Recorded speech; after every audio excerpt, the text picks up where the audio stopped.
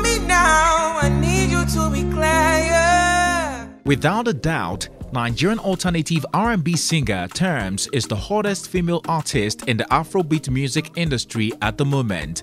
With a unique voice, sound and vibe that no one can resist, she is not just a strong contender among top female Nigerian artists like Yemi Alade, Tiwa Savage, Waje, Niniola, Teni, and others, but a shining star among them. The beautiful singer who chose to redefine music careers for female Nigerian artists by not promoting her music with sex or a body first got the attention of Nigerians in 2018 after releasing her debut single, Mr. Rebel. Blown away by how she introduced herself, Nigerians immediately fell in love with both her and the song, making it an instant hit. She would later follow up with Looku Looku and Try Me to cement her place as a talented music star, earning her a legion of fans who call themselves Rebels. However, the turning point of her career came in October 2020 following the release of Essence, a collaboration song she did with Afrobeat superstar Wizkid. It has become a US summer vibe and a favorite song of top celebrities in America and Africa, as well as Europe. Tems is currently trending on Twitter as a new song continues to top both local and international charts. 11 months after Essence release, Tems became the first female Nigerian artist to make it to the Billboard Hot 100 chart. As Essence debuted at number 82 on the international chart in July. This is also not forgetting that Barack Obama, ex-president of the United States, listed the song as one of his favorite music of 2020. Right now, it's safe to say that Tems has finally arrived at stardom and got the award listening. This begs the question, who is the real Tems? What inspired a debut single? When did she start a music career? How did she come about a unique sound? And lastly, what is the untold story of her rise to stardom? Hello guys, it's T-Code here for African Glitz.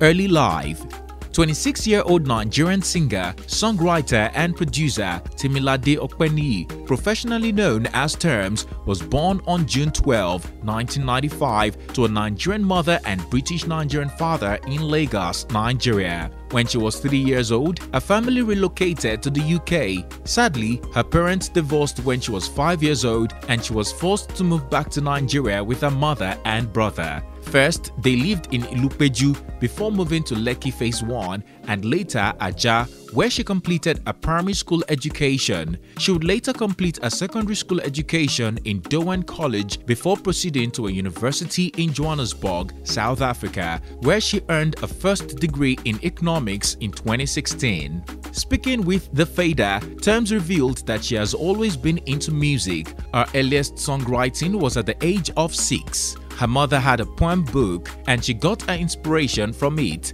She, however, became more interested in music after watching Beyonce on the Pepsi Countdown show at the age of 7 and only took that interest seriously when she was in high school. She was reticent and didn't have many friends, so she would sneak into the music room to spend her break period. Sadly, she didn't believe in her own voice. Tems once thought her voice was too heavy for a girl and because of this, she sang mostly with her falsetto until a music teacher helped train her.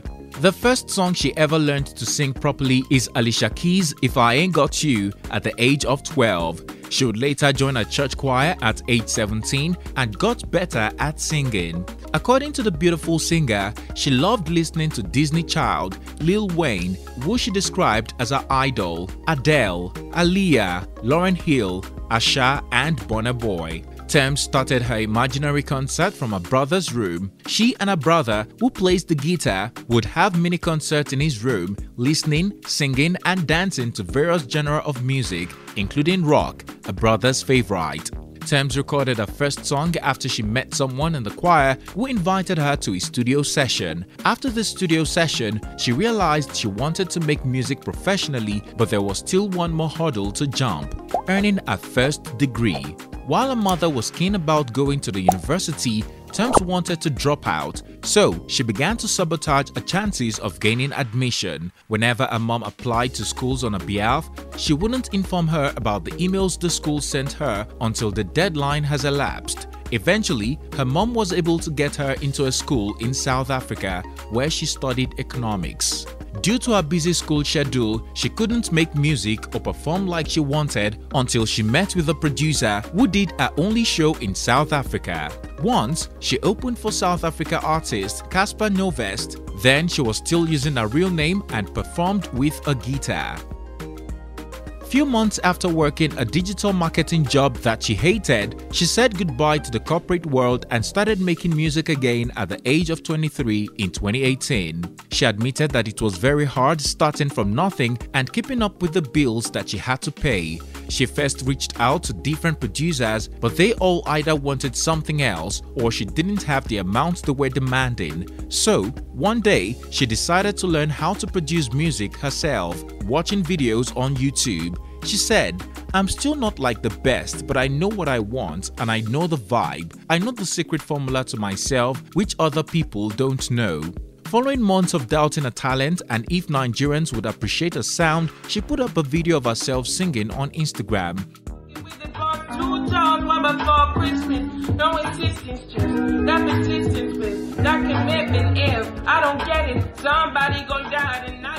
Many people reached out to her, including Audio, two guys who allowed her to use their studio. Come July 2018, Tems released a debut single, Mr. Rebel, a song she said was inspired by frustration and what she thought was the worst song she ever recorded.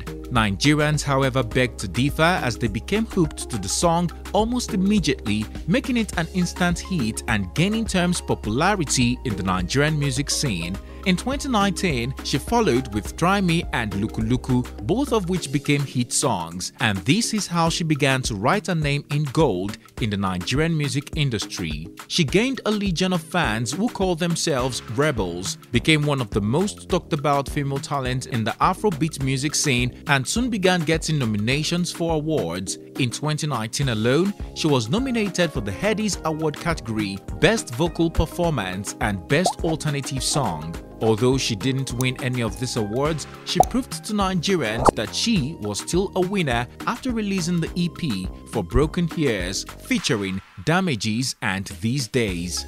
Damages that have garnered over 6 million views on YouTube peaked at number 6 on Turntable Top 50 chart, giving her more popularity enough to be listed by DJ Edu as one of the 10 artists to look out for in 2020. American singer Khalid recruited both her and Davido on the remix of his song Know Your Worth. Again in 2020, Tems was nominated for several awards including City People Music Award 2020, Next Rated for the Headies nominated, and the Future Award Africa gave her a prize for music. After two solid years of making music professionally, Tems finally got a breakthrough as she featured on Wizkid's hit song, Essence, which has now become the biggest song from his Made in Lagos 2020 album. From Africa to Europe, America, and even Australia, celebrities worldwide have all confessed it is their favorite song. and for months since its release, Tems alongside Wizkid has been trending on social media. With a rise in the Afrobeat music industry, Tems has now been nominated for the Best Breakthrough Act by the 2021 MTV Africa Music Award and Best New International Act at the upcoming BET Awards. Speaking on why her music is so unique, Tems revealed that she stopped listening to every other artist just to find her own sound when she decided to make music professionally.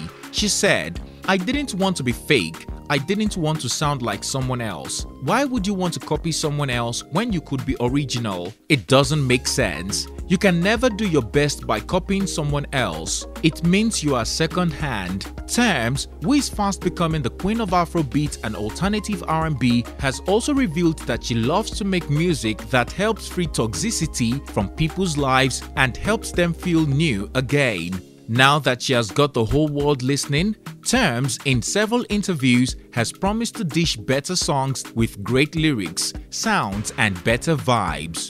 Do you agree that a sound is unique? And with the feature on Essence, she has got the whole world listening. Would you say Tems is fast becoming the queen of Afrobeat and alternative R&B and among other female artists in Nigeria, Tems is a shining star? Share your opinion in the comment section down below If you found this video informative, please comment, like, and share. Don't forget to subscribe for more well researched African stories and news we know you would like. Click on the bell sign to be notified every time we upload a new video so that you don't miss all the best ones. Thanks for watching and see you on our next one.